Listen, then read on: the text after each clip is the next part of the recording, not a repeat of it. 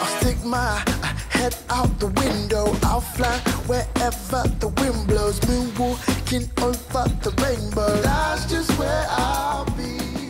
A couple of you have asked for a house tour, so I thought I would, because the space is quite small, I thought I would show you the house and how it's set up, but then I also thought I would talk through a lot of the things that we were able to buy secondhand, Facebook Marketplace, thrifted, and what we bought new as well. So yeah, I thought that's what we would do today.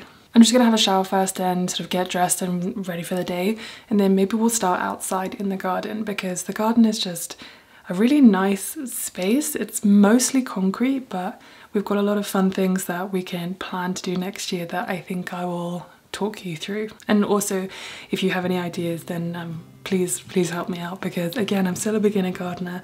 And when I was at my parents' house, they already had raised beds sort of set up. So I didn't even have to think about, you know, how that would look or anything like that.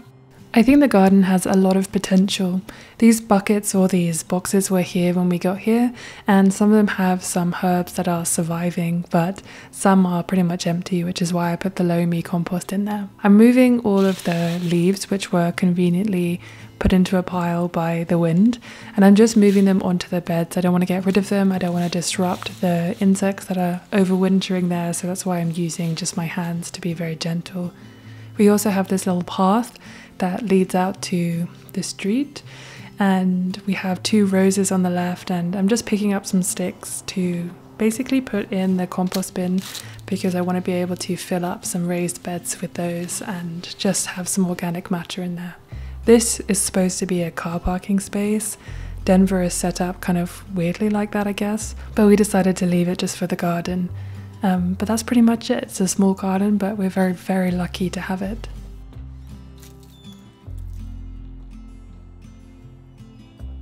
This is our biggest room. This is the kitchen, dining, living area.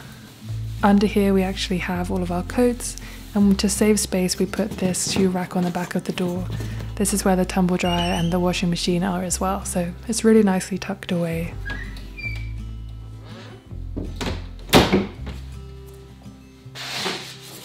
This is undoubtedly my favourite spot in the house. We got this table and chairs from Facebook Marketplace for $75.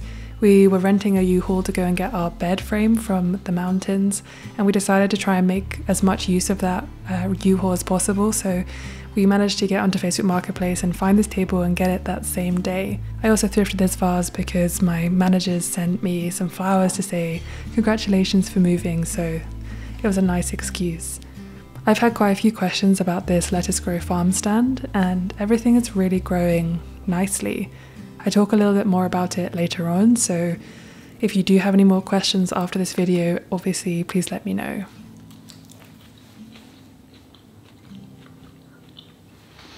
I brought the Lomi with me when I moved to the US. This is a really expensive piece of kit and I thought it just would not get used back at home. And I honestly thought that we wouldn't have a garden when we moved to Denver. We got incredibly lucky being able to get one, so I definitely wanted to bring this. We also use Swedish dishcloths to obviously wash our dishes and a sponge and this sort of copper scratchy thing.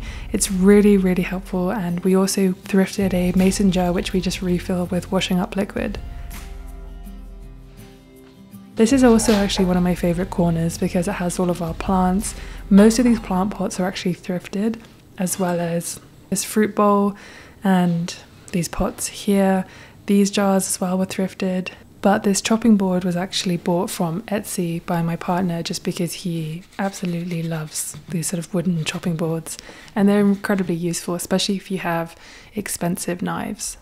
This kettle is actually something I got for my husband as one of his birthday presents about three years ago, so we obviously brought that. And this toaster we were able to buy out of box for $100 off because they are outrageously expensive. Our glasses we got from an antique store, and most of our plates we were actually able to get from Goodwill, apart from a couple that I brought with me that were handmade by my friend. The same with the glasses, this mixing bowl I was able to get from a vintage shop. It was about $45, so it wasn't cheap, but I wanted to get one that was very similar to this one, which my mum had, and I just really loved it. We also got these two bars from H Mart. We did not get these secondhand, but they were on sale and they were just beautiful. I've had these for so many years now and definitely had to bring them. My friend also made these two mugs and this milk jar, which I was definitely going to bring. I've had a few questions about this green mug, and it was actually a gift from my husband's mum from a local maker in Ann Arbor. We already had this grinder. My husband again got it for Christmas maybe two years ago, so we really tried to bring as much as possible that, that were ours. The only thing I think we want is a bookshelf for these books, but this lamp is one of my favorite finds. It was only $15 that we got from an ARC thrift store down in Littleton, and it has three different lights, and it's just really nice. Okay, so that's the sort of main space in terms of the kitchen and I guess what would be considered a living room if you, yeah, but we kind of use it just as like a dining room and a little workstation when it's really sunny in the corner. Behind me, this is the bathroom, obviously. I think you've seen snippets of it when I filmed sort of showing you. It's got a really nice sort of accent wall with the brick because this side of the building is actually new and that side of the building is actually really old. It just used to be that side, so that side gets quite cold because it's all brick and then all of this is like a, a new add-on building. I think that used to be a kind of, uh, I don't know what it was, like a little station of some, some sort, but it wasn't a proper house, it was just a small building that I guess this other house used to use and they decided to cut off half the garden and change this into a different property and add on this sort of extension. So this mirror is actually covering up what used to be a doorway. So that's why it's so big, which is really nice. And actually on the other side of this is another sink, bizarrely. I think the people who used to live in here before used that other room as their bedroom, but it was much bigger than the bedroom that we use, so we decided to use it as the space that we both work and put a little sofa in there as well for, you know, reading and relaxing and whatever.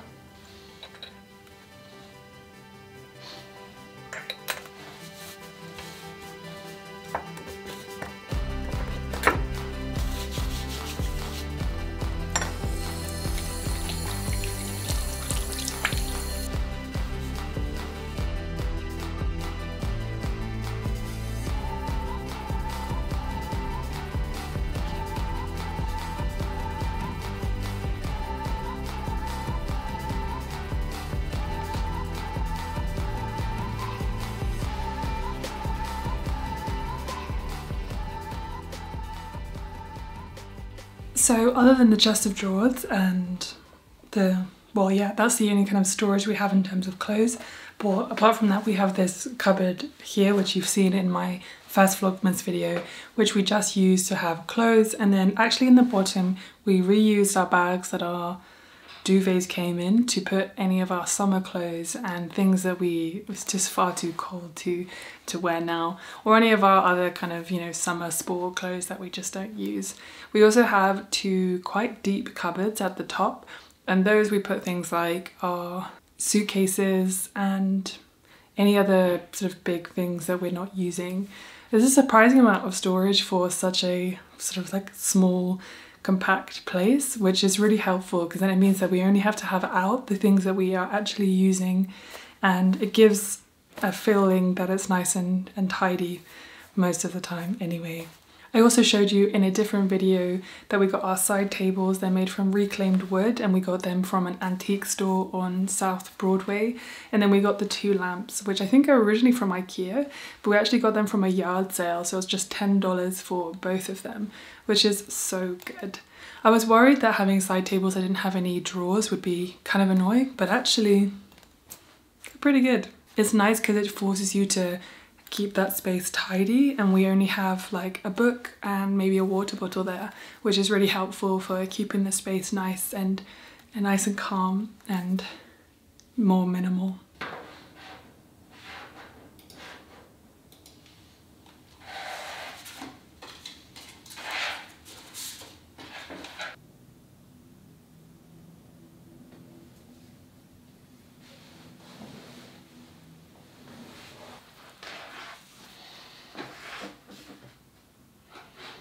So this is our space. We really have tried really hard to thrift as much as possible.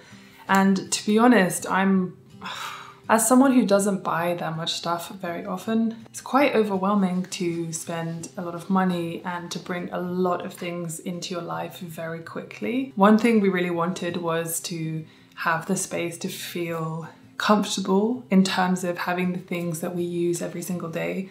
So having a table to sit at so we can eat and you know, do admin or this is where I spend the morning planning my day. When I say that, I literally literally spend five minutes making some kind of schedule because if I don't, then I my brain just doesn't it just sits there being like, what am I supposed to do today? So I'm that kind of person. I really need that. So it's a really beautiful space to be able to do that in the first place. I really needed this as well, this sort of this sideboard. I'm not actually sure what it is. I think it's actually supposed to be a sort of TV thing, but I needed that for putting all of my camera stuff and all of that in just one place. I found it very difficult when I was living elsewhere, not having one space to put everything, and it's very handy having it in the kitchen considering I film mostly in here and I edit mostly in there. With the farm stand, they do they recommend having the lights on like six hours a day and the water 15 minutes every hour. For us, that just seemed like far too much, especially because we have it in a very sunny spot. So we only put it on maximum two hours a day. And then we do that either in the morning when it's still a bit dark or in the evening when it's getting dark. And with the water, we actually only put it on four times a day instead of you know, every single hour. And that is because we're conscious about using electricity and water and all of those different resources. We want to be cognizant of, of using things like that. We also don't use our oven very often. I got a question about that, about energy efficiency and whether it's, you know, efficient to bake three cookies in, in the oven. And of course it's not, but we already had the oven on in the morning baking some bread, so I thought I would reuse that to bake some cookies as well. This is something that is always on my mind, you know, energy efficiency, resource efficiency, and making sure that we're actually using things in a sensible way. I also tried to buy the plants as a small version because they're much more affordable. And then there are some ways that I'm gonna try to figure out how to propagate them.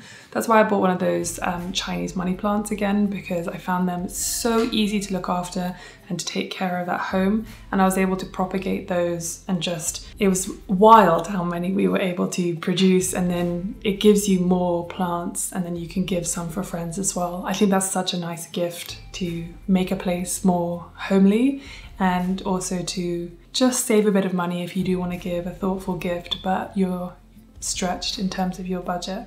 I found that plants are very expensive in the US, just like most things. So again, that's why I wanted to get those little ones, which are about $4, and then really learn to take care of them and nurture them so that they grow into something really big and beautiful. Okay, I really hope that you enjoyed this sort of like little house tour. And if you have any questions, please, please do let me know.